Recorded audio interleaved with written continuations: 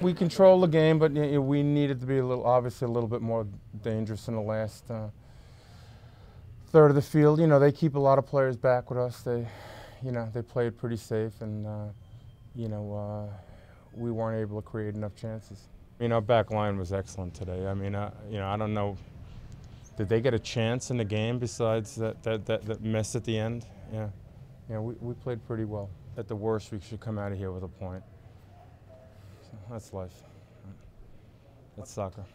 I thought we played pretty well for 80 minutes. Um, we, we didn't create many chances, but you know, I think they had two or three shots on goal all day, and you know, they got the, the two late ones that were, were goals. So um, I thought we frustrated them.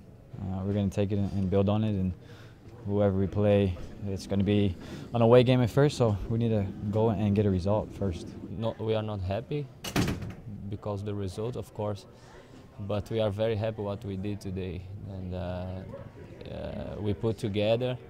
Uh, everyone step step in the field and uh, play very well today. I think so. This just gives us conf confidence to go to playoffs now and uh, and uh, fight for the the cup.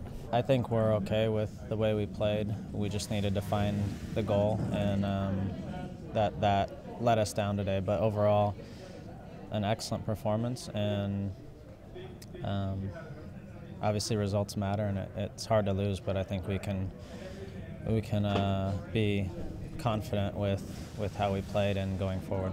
The standings don't lie, and they've been the better team over the course of the year, so they deserve that, and we give them credit. Um, that's could have been ours, but we I think we gave up too many points earlier in the year, and it came back to hurt us.